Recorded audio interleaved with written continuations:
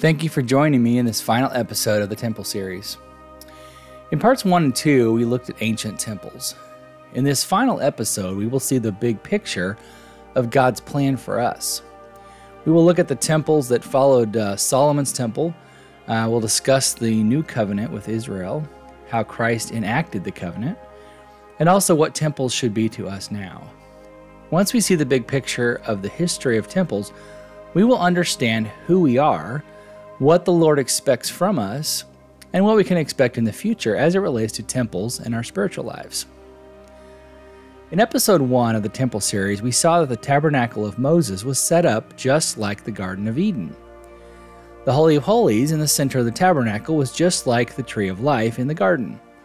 In order for a person to enter that sacred space, they needed to be sanctified and holy. If they were not sanctified and holy, they would be kicked out or destroyed.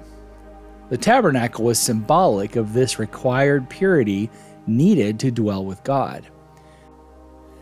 The tabernacle also showed us the future in which a spotless lamb, Jesus, would die for mankind and make a way possible to dwell with him even after mankind had been removed from his presence due to sin. An eternal sacrifice had to be paid, and God, in the form of Jesus, was the only one capable of that sacrifice. We also saw that the tabernacle was filled with God's Holy Spirit, and the evidence of his presence was seen in fire and a cloud that rested over the Holy of Holies day and night while they wandered in the wilderness. In the Temple Series Part 2, we looked at the Temple of Solomon, and that it was a, uh, permanent structure built in Jerusalem for the Lord to dwell. David planned it, and Solomon built it for God to honor him and act as a symbol for the world that Israel's God was the one true God. Once the Ark of the Covenant was placed within the Holy of Holies in Solomon's temple, God entered in, and all of Israel could see the pillar of fire that came down out of heaven to consume the sacrifice. Again, this temple was symbolic of Jesus and his coming kingdom on earth. So, what happened afterwards? Were there more temples? Do we need temples today? Stay with me on this journey, and we will discover these answers together. In 587 BC, as prophesied by Lehi, Solomon's temple was destroyed, and the kingdom of Judah, or the southern kingdom, was taken into captivity in Babylon by Nebuchadnezzar II. The Ark of the Covenant also disappeared during this time. It is unclear whether the ark was hidden somewhere before the siege by the priests, or if Babylon took the ark when they destroyed the temple, but regardless, it never appeared again after this date. Israel remained in bondage to Babylon, and during this time, Babylon was invaded and conquered by the Persian Empire in 539 BC. King Cyrus the Great of Persia was much more tolerant of the Israelites than the Babylonians. The exiled Jews were allowed to return to Jerusalem in 537 BC. A member of the royal family of Judah, Zerubbabel, who was the grandson of King Jehoiachin of, of Judah, was placed as governor over Jerusalem. He was a descendant of King David and the 18th grandfather of Jesus through Mary's line. So, with the authorization from Persia, he led a group of 42,360 Judeans back to Jerusalem to live. Among this group was a Levite named Joshua.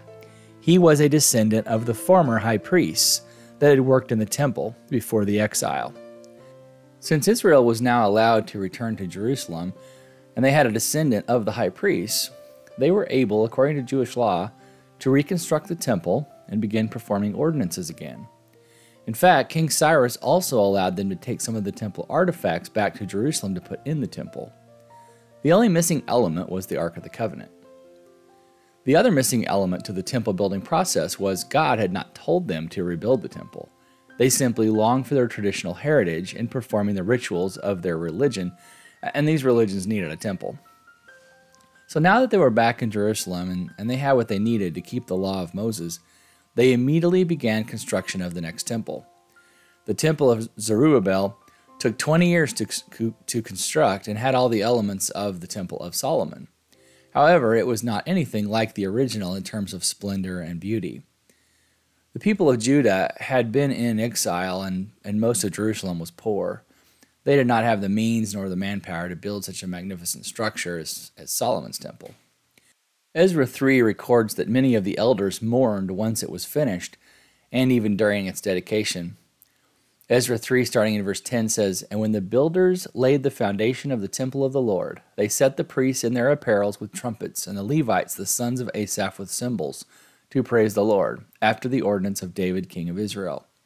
And they sang together by course in praising and giving thanks unto the Lord, because he is good, for his mercy endureth forever toward Israel.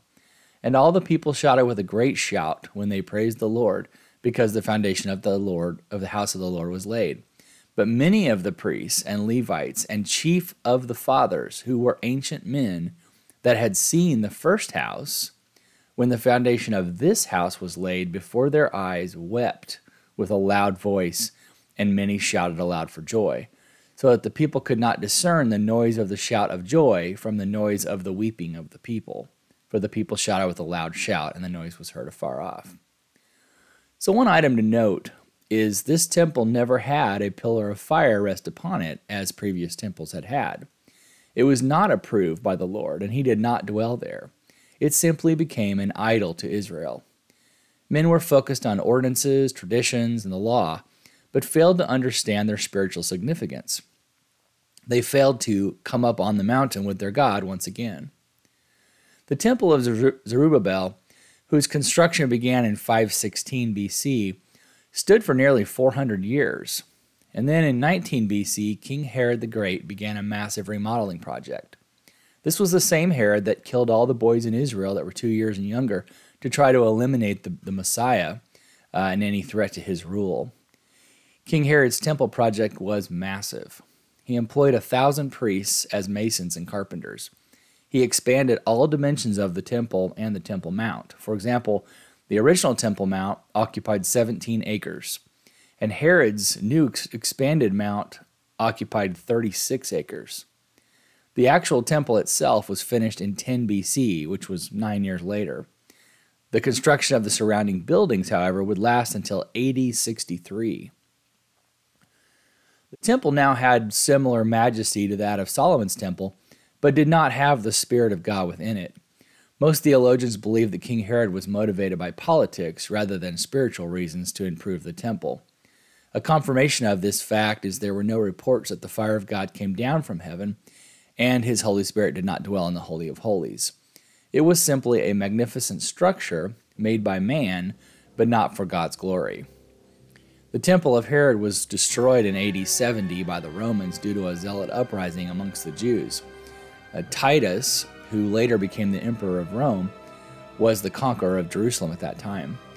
Uh, he returned to Rome after his conquest and paraded through the streets with several of the temple artifacts that had only been previously seen by the high priest.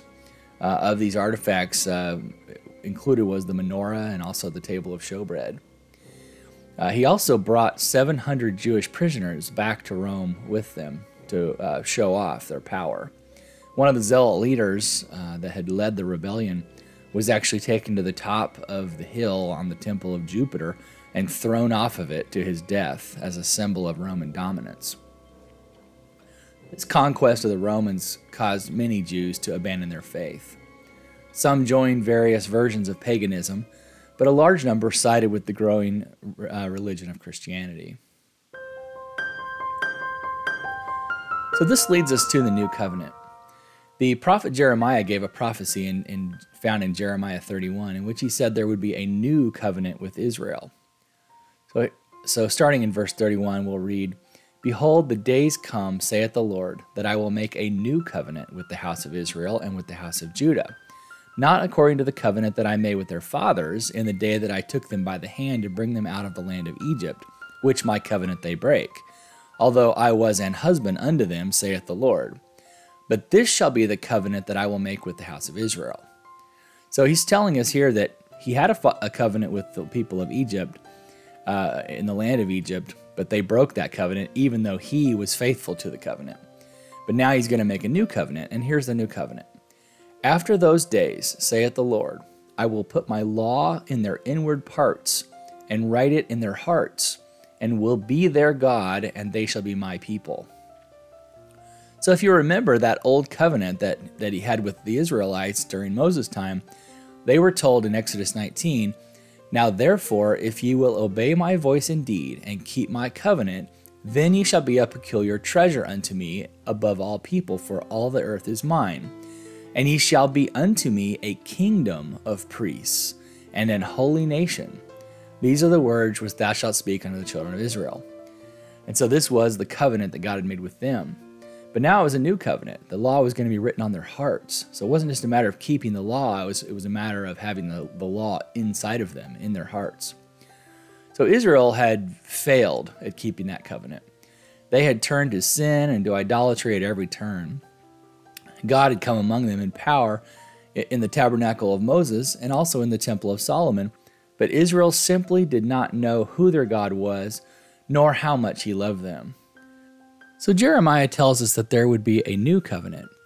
He said the law would not be written on stone tablets stored in a golden box, but instead it would be written in their hearts.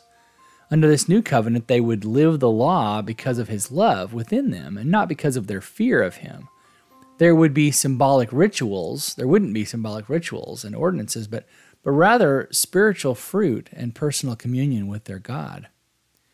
Mosiah also prophesied of this new covenant that would come. He saw a new kind of tabernacle in which man would commune with God.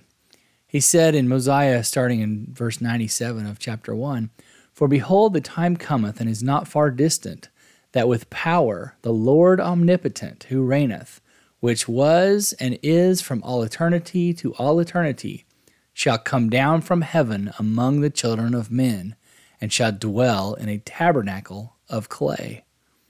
And shall go forth amongst men, working mighty miracles, such as healing the sick, raising the dead, causing the lame to walk, and, and the blind to receive their sight, and the deaf to hear, and curing all manner of diseases. And he shall cast out devils, or the evil spirits, which dwelleth in the hearts of the children of men, and lo, he shall suffer temptations and pain of body, hunger, thirst, and fatigue, even more than man can suffer, except it be unto death.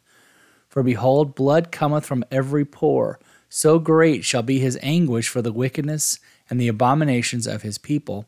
And he shall be called Jesus Christ, the Son of God, the Father of heaven and of earth, the Creator of all things from the beginning, and his mother shall be called Mary. So Jesus was the actual fulfillment of all the temples from the past. He was the reality that was symbolized by all of the ordinances, rituals, and sacrifices. His death and resurrection was the perfect, eternal sacrifice that would pay the price of sin.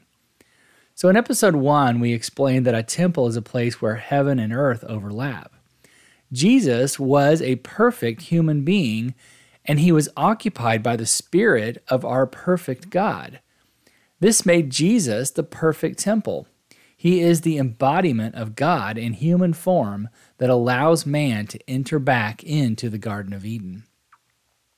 Jesus was uh, even trying to tell his people that he was the temple, and that though the, the temple of his flesh would be destroyed, in three days he would raise it back up again. He talked about this in John chapter 2. Starting in verse 18, it says, then answered the Jews and said unto him, What, what sign showest thou unto us, seeing that thou doest these things? Jesus answered and said unto them, Destroy this temple, and in three days I will raise it up. Then said the Jews, Forty and six years was this temple in building, and wilt thou rear it up in three days? But he spake of the temple of his body. When therefore he was risen from the dead, his disciples remembered that he had said this unto them and they believed the scripture and the word which Jesus had said. The temple at Jerusalem had been under construction since 19 BC, and so it was still under construction when Jesus was there ministering to the people and making this statement that he was the temple. They just could not understand how he could claim that he could rebuild it in three days. They were only thinking temporally. They were thinking of the temple in which they were standing and not the temple that was standing before them. They expected their Messiah to be a conquering king and not a humble, loving servant. They did not understand the nature of who their God was. uh, because they worshiped the laws that were given to them instead of using those laws to draw nearer to Him.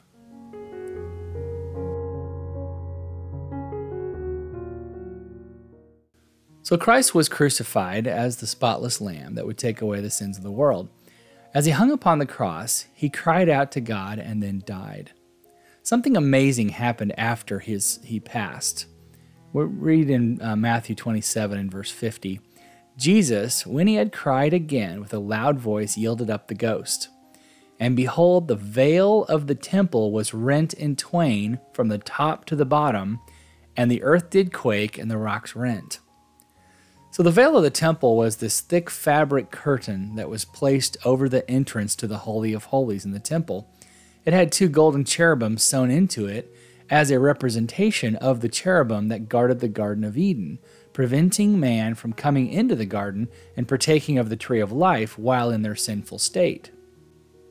So now, after Christ's death, the symbolic veil that kept man from entering the Holy of Holies was now torn from the top to the bottom and stood wide open for all who would make the covenant with him.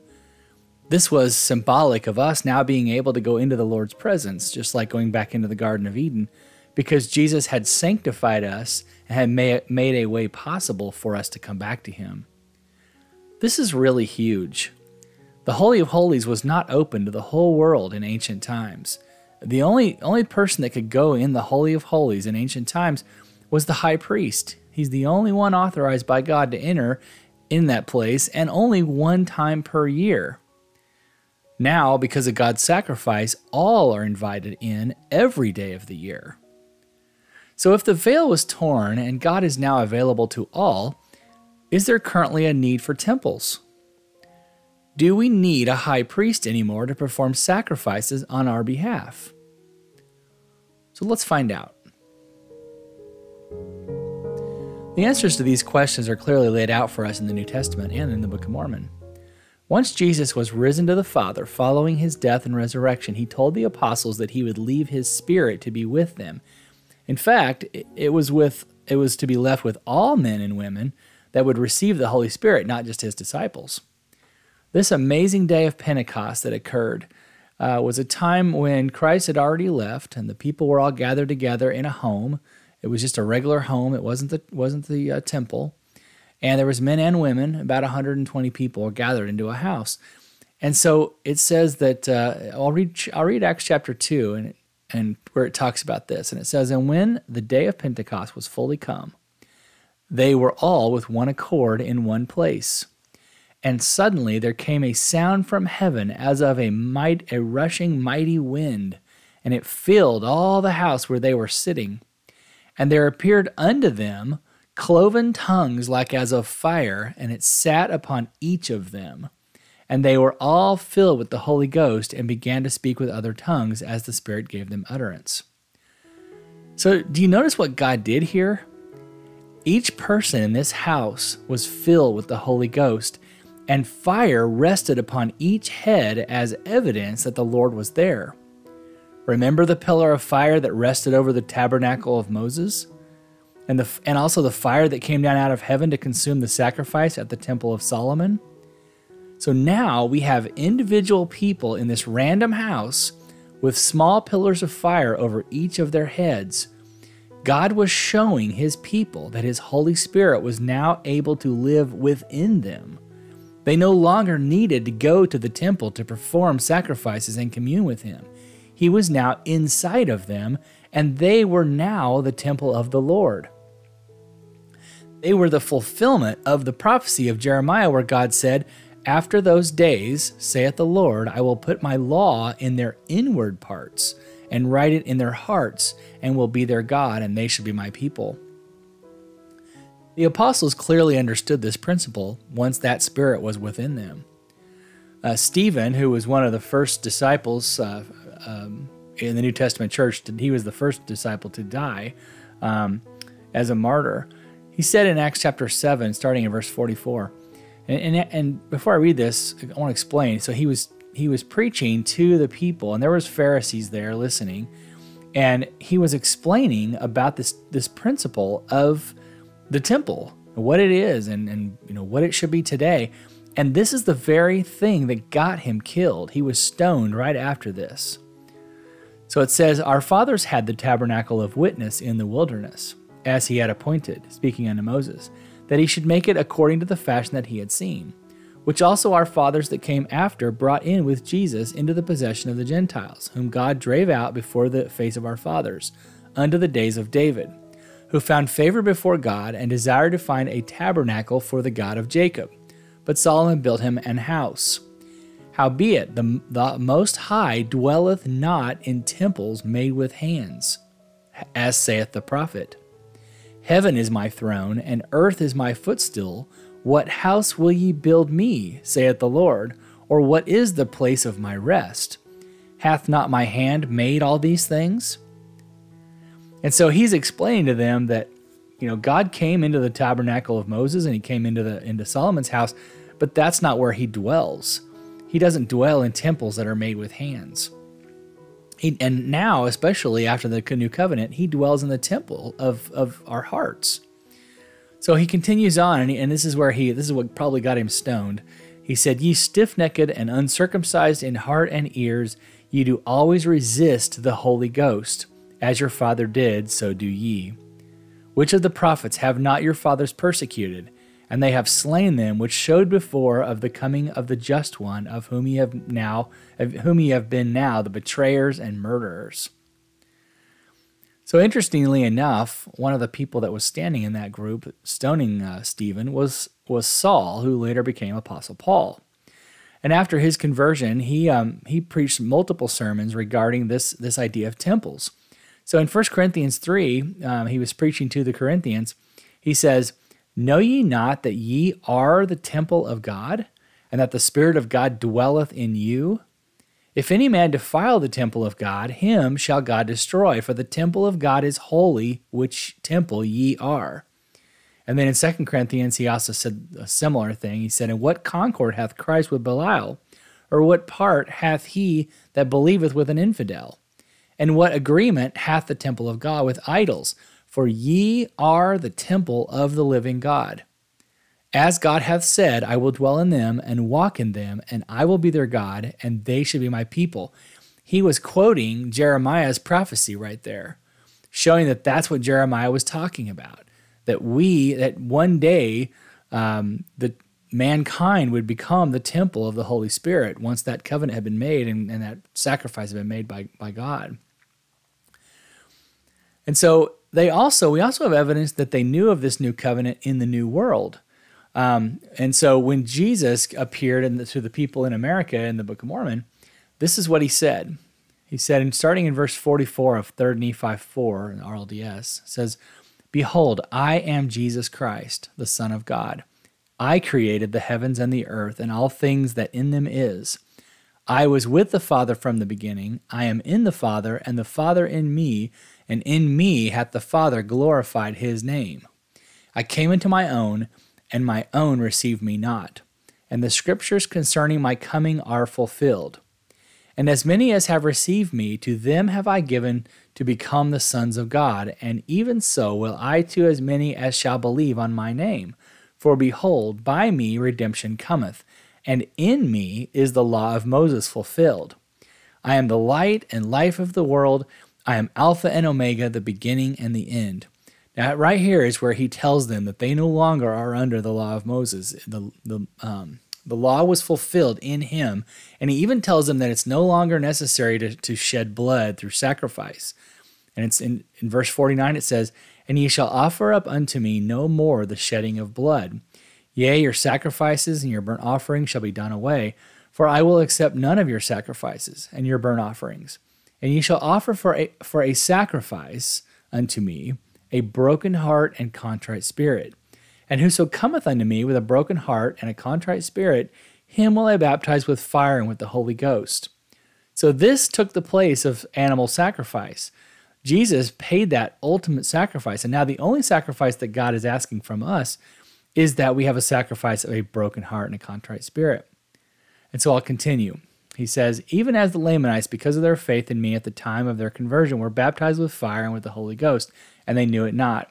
Behold, I have come unto the world to bring redemption unto the world, to save the world from sin. Therefore, whoso repenteth and cometh unto me as a little child, him will I receive, for of such is the kingdom of God.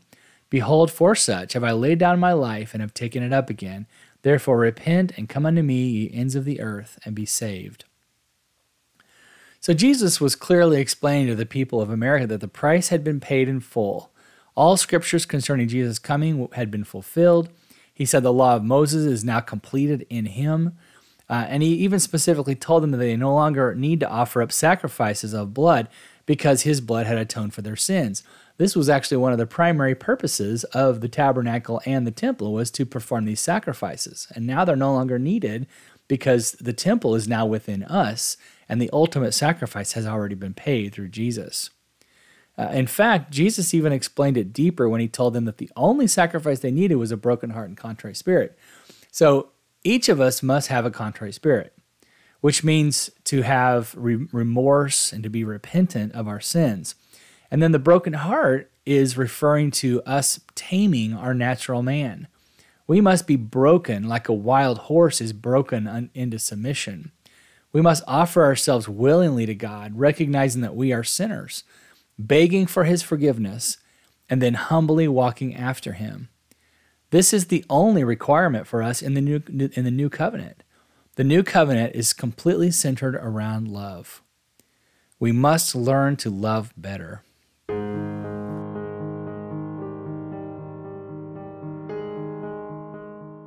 Jesus went on to explain in Ether who he is. Um, and this is uh, this is later on in the Book of Mormon towards the end. But in Ether, he explained who he is and that the new veil in the temple, the only veil in the temple, is our own unbelief. So the veil of in the in the uh, temple in Jerusalem was was torn open, wide, standing wide open, and so now the only veil left is the veil of our of our unbelief. So starting in Ether um, chapter one, starting in 108, it says, "For behold, I am the Father. I am the light and life and the truth of the world." Come unto me, O ye Gentiles, and I will show unto you the greater things, the knowledge which is hid up because of unbelief. Come unto me, O ye house of Israel, and it shall be made manifest unto you how great things the Father hath laid up for you from the foundation of the world, and it hath not come unto you because of unbelief. Behold, when ye shall rend that veil of unbelief, which doth cause you to remain in your awful state of wickedness and hardness of heart and blindness of mind, then shall the great and marvelous things which have been hid up from the foundation of the world from you. Yea, when ye when ye shall call upon the Father in my name with a broken heart and a contrite spirit, then shall ye know that the Father hath remembered the covenant which he made unto your fathers, O house of Israel. And of course, that, that covenant was that we would be his people and he would be our God. And it says, And then shall my revelations, which I have caused to be written by my servant John, be unfolded in the eyes of all the people. Remember, when ye see these things, ye shall know that the time is at hand that, that, that they shall be made manifest in very deed.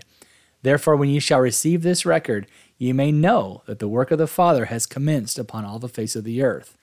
Therefore, repent, all ye ends of the earth, and come unto me, and believe in my gospel, and be baptized in my name for he that believeth and is baptized shall be saved, but he that believeth not shall be damned. And signs shall follow them that believe in my name. And blessed is he that is found faithful unto my name at the last day, for they shall be lifted up to dwell in the kingdom prepared for them from the foundation of the world. So we were told in this scripture that more would be revealed by John. So, what did John say about the temple in, and the New Jerusalem? So, looking in Revelations, uh, starting in verse 2, it says, And I, John, saw the holy city, the new Jerusalem, coming down from God out of heaven, prepared as a bride adorned for her husband. And I heard a great voice out of heaven saying, Behold the tabernacle of God. Remember, we were told in the Book of Mormon that the tabernacle uh, it would be a tabernacle of clay. So it's it's a human form. It's a it's a you know it's a human body. Behold, the tabernacle of God is with men, and he will dwell with them, and they shall be his people, and God himself shall be with them and be their God. And God shall wipe away all the tears from their eyes, and there shall be no more death, neither sorrow nor crying, neither shall there be any more pain, for the former things are passed away. And he that sat upon the throne said, Behold, I make all things new. And he said unto me, Write, for these words are true and faithful. And he said unto me, It is done. I am Alpha and Omega, the beginning and the end. I will give unto him that is athirst of the fountain of water of life freely. He that overcometh shall inherit all things, and I will be his God, and he shall be my son. And I saw no temple therein, for the Lord God Almighty and the Lamb are the temple of it. So John tells us that there won't be a temple in the New Jerusalem. He says that God will be with man, and therefore a structure made with hands will not be needed.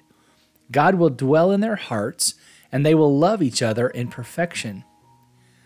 Once we understand who God is and who we are, we can see more clearly what temples are, were, and will be. We will finish by breaking down Revelations 22 1 through 7. This, this passage is full of symbolism, and especially if you understand temples and covenants and, and some of the law, um, it just comes to life if you understand what it's saying. Um, it is the reality of the kingdom of heaven that God was pointing to through all the symbolism of the law and the temple. So let's break it down, starting in verse 1 of Revelations 22. And he showed me a pure river of water of life, clear as crystal, proceeding out of the throne of God and of the Lamb. So remember the Garden of Eden. There were four there were rivers that flowed out of the Garden of Eden. We're also told that Jesus is the fountain of life. So, and I'm just pointing out the imagery here, how it all ties in. Then in verse 2, in the midst of the street of it, and on either side of the river, there was the tree of life, which bare twelve manner of fruits, and yielded her fruit every month, and the leaves of the tree were for the healing of the nations. So we know the tree of life was in the garden. Um, the book of Revelations also tells us the tree of life is in paradise. So it's kind of interesting. If you look up the original meaning for the word paradise, you find that it actually means garden. Um, so it's actually, they're one and the same. Uh, also, the 12 fruits could very well symbolize the 12 tribes of Israel we have a lot of that of the symbolism of 12 in the temple. Um, for example, the 12 pieces of showbread, uh, those were representative of each of the tribes. And since it's talking about fruit, um, this would be the fruit of the labor of Jesus who died on the cross for our sins, and the fruit that he bore was redeeming his people. So, moving to verse 3 And there shall be no more curse, but the throne of God and of the Lamb shall be in it, and his servants shall serve him. So uh, once again, no temple in the in the uh, in, Jeru- in the New Jerusalem. The throne of God and the Lamb will be there. They are the temple. Uh, verse four, and they shall see His face, and His name shall be in their foreheads. So we are told that God will be written in our foreheads, and this was this was symbolized by a, in the Old Testament was symbolized by a golden plate that Aaron was to put on his forehead um, that said the said the words "holiness to the Lord," and he had to wear that while he performed his ordinances in the temple. And so the name of God, the holiness of the Lord, was written upon his forehead as a symbol of what would be upon us, you know, within our minds and upon us in the, in the end in the New Jerusalem. That God's holiness will be upon us for all to see, and that the natural man will be dead. Then moving to verse 5 there shall be no night there, and they shall need no candle, neither the light of the sun, for the Lord God giveth them light, and they shall reign forever and ever. So the New Jerusalem will not need physical light, such as the menorah needed in the temple. God will be the light. God's plan was always for man to be a kingdom of priests. If you read Exodus 19:6, uh, God wanted a whole entire kingdom of priests out of Israel. Um, he didn't want uh, just a bunch of you know followers. He wanted a kingdom of priests that have a, a living, breathing relationship with their God. Um, he wants us to rule His creation in righteousness. Uh, when He set up Adam and Eve to rule the garden, He was He set them up to rule the garden, uh, but they chose to be disobedient to Him. They chose to do what they wanted to do. The New Jerusalem will be like the garden, except it'll be another chance for us to be that holy, righteous priest that God that um, will fulfill the measure of our creation. Then in verse 6 it says, And he said unto me, These sayings are faithful and true, and the Lord God of the holy prophets sent his angel to show unto his servants the things which must shortly be done. Behold, I come quickly. Blessed is he that keepeth the sayings of the prophecy of this book. And so these, these verses here are clearly talking about the New Jerusalem, the, the return of Jesus, um, the, the what is a temple, um, that his name will be written on our foreheads. I mean, this is all really symbolic stuff that is all re- referencing back to temples. So, really, at the end of the day, what God really wants is He wants us to be back with Him in the garden. He paid the price Himself for us and placed His Spirit within us, gave us His Holy Spirit to help guide us back to Him. And He really just wants us to choose Him. He wants us to take our place as priests in His kingdom. We are the temple of the Holy Spirit now, and this is our time to prepare our hearts to live with Him in eternity. We must learn to truly be contrite and broken before Him so He can use us. Our hearts must not be full of pride, and we must not be living according to the flesh with our own agendas. Once we fully understand that we are sacred ground, where the Holy Spirit dwells, and how deeply He loves us, we can begin to allow Him to work in us. There are, there are many religions today that are vigorously performing ordinances and rituals in temples, hoping their God will respond. Some religions are anxiously awaiting for the conditions to be right to build another temple. Some religions have temples placed all over the world, thinking that their rituals will bring salvation to their members. But the truth is that Jesus did away with the need for temples made with hands. His temples are those that are willing to soften their hearts and embrace Him in love and be obedient to the promptings of His Spirit. If you're a member of a religion that requires a temple for worship or a temple for the Lord to return to uh, at, for His bride, I would ask you you consider this video and go before the Lord in earnest prayer regarding this issue. This conclusion may come as a shock to many watching this presentation, but in order to truly see God, we must look at all He has done throughout history and take in the full tapestry of his message. He loves us, he loves us all so much, and he just wants to be with us. We, we can't rely on our religion to explain God's plan, but rather read it yourself and pray for wisdom and be led by his spirit. He is calling you to be his holy temple. Will you soften your heart and allow him to enter into it? Will you allow him to come into the Holy of Holies? Will you humble yourself before him and become his people? Many have gone before us, giving, uh, giving their lives even to serve him and to teach us who he is and what his plan is for us. I hope you will be willing to let go of your traditions and religious understandings in favor of truly listening to his voice as he calls to you. God bless you as you diligently seek him. Take care.